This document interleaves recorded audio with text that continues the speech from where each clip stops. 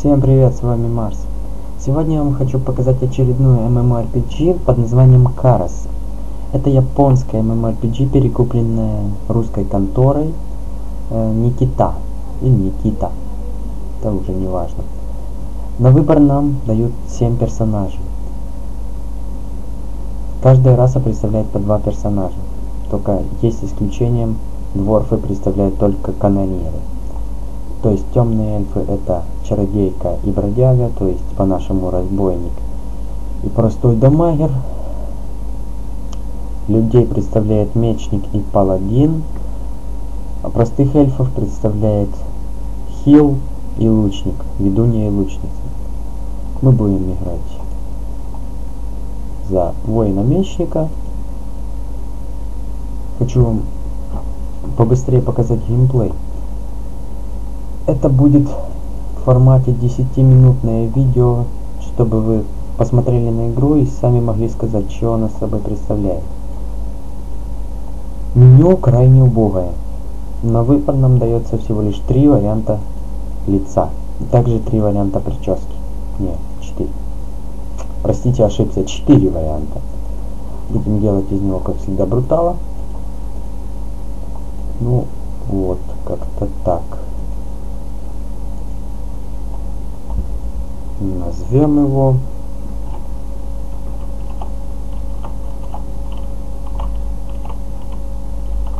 Перит. Пускай будет Перит. Вот заходим игру. На каждом аккаунте может быть только 5 персонажей. Никаким путем расширить это списка невозможно.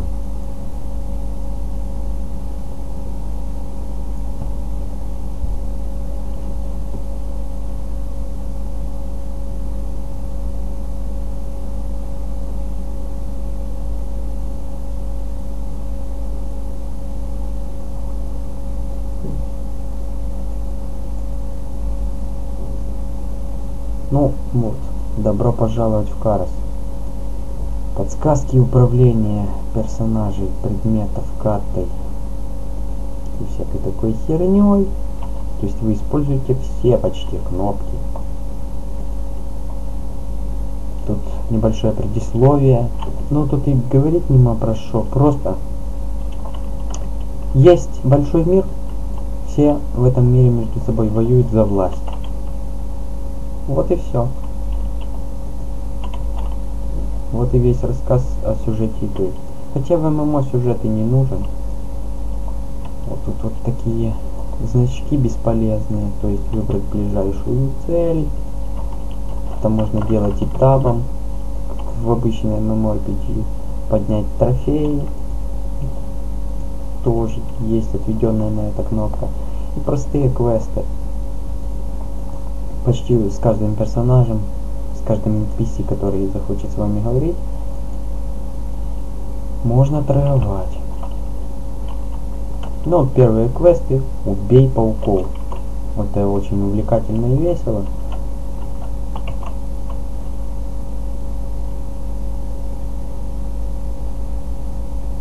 Но, видите, боевочка не лазерное шоу, но не скучные удары.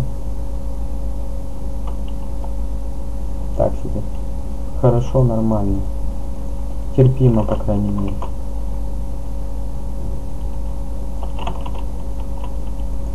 Ну, рассказывать про кач, какой нудный во всех MMORPG, это не стоит, думаю, любой, кто когда-либо запускал какую-либо ММО, знает, о чем я.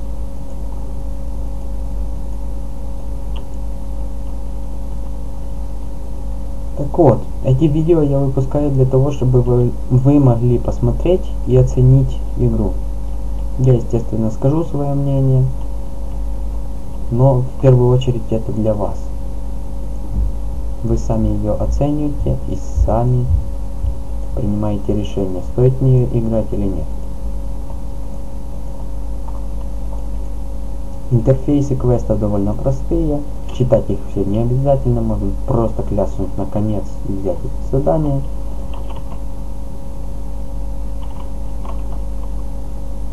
способности. Способности покупаются как в любых других корейских ММО.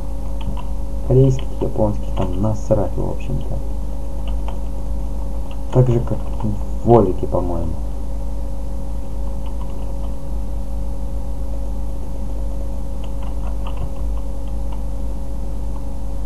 В общем, делиться по сюжету нема смысла. Я докачался в этой игре до 40 уровня. Единственное, наверное, чем отличается это ММО от любых других, это система крафта. Крафт тут, правда, выдающийся. Тут можно скрафтить себе, во-первых, из руды доспехи. Ну, это так, исключение из правила, в общем-то. Сейчас во многих это можно делать. Но крафтить себе всякие плюшечки, допустим, делать те же самые элики без профессии алхимика, добывать руду и делать, пере, блин, перерабатывать его в железо, вот сраные лаги, которые есть только в этом большом городе, это столица всех владений. И перерабатывать это на железо и самому себе крафтить маунтов, которые в сложенном состоянии преображаются вам в наплечник. Сейчас я даже покажу некоего такого. Ну вот. Чувак на маунте на своем, на золотом тигре. А рядом с ним стоит лучница. Вот этот наплечник синий, это ее маунт, который дает бонусы к защите. Также, чем прославился Карас, это система флетта доспехов и флетта оружия. Ну, то есть почти все материалы можно купить на аукционе, то есть у старьевщика. Или добыть самому. Осколок флетоцветов. Это добывается с помощью кирки на рудниках. Рецепт флетоцветов покупается. Это тоже добывается кир кирочкой, своими руками. Концентрат флеты это особый, особое очко талантов. То есть, когда вы убиваете мобов, вам дается опыт, полоска сверху, и э, уровень флета, уровень флеты. То есть, когда он набирается, вам дается такое очко. Вы можете его использовать на улучшение, допустим, восстановление уровня жизни или уровня маны вне боя, или вот преобразить в такую хрень и сделать себе маунта. По графике что можно сказать? Графика ничем особо не выражается, ничего особо технологичного и красивого тут нету вообще. Текстуры. Текстуры только хорошо подлатаны, ибо, блин, ибо за весь мой путь до 40 level а я этим не страдал. Отдельное слово надо, конечно, сказать и про PvP. Ну уж простите, я забыл ключ от своего аккаунта. Ибо я играл несколько лет назад уже в нее. Вот что собой представляет Карас. Хотелось бы еще добавить, что этой игре при присущий мир БСа. То есть вот такие вот магазинчики, которые сейчас есть во всех ММО, просто, просто во всех. Где персонаж создает свой магазин, такой маленький столик, и продает ненужный хлам. Также камни возврата, это вам не айон, конечно, это простой телепорт, который затемняет экран и переносит вас туда, куда вам нужно. Склады, как и во всех ММО, подходишь до персонажа, используешь личное хранилище и играешься с инвентарем. Система улучшения. Все улучшается камнями. То есть, ой, какими нафиг камнями? Ёпта мать, простите меня, пожалуйста. Э, вся броня улучшается специальными свитками. К сожалению, меня сейчас с собой нет, чтобы показать вам. Но я думаю, кому интересно, посмотреть на сайте, как улучшать доспехи. Это использование свитка прямо на доспех. Правой кнопкой мыши и перенос сюда. Флета доспех. Он крафтится, там где я вам показывал у торговца, и одевается как оптимальная броня для вашего класса и уровня персонажа. С каждым уровнем она стает сильнее, то есть подтачивается под самого вашего персонажа. Квесты. Идиотские и нудные. Например, убей там херову тучу мобов и добудь 30 замерзших каких-то херень. Это ж так интересно. Пойди убей 10 гигантских йети, которые тебя распедаливают.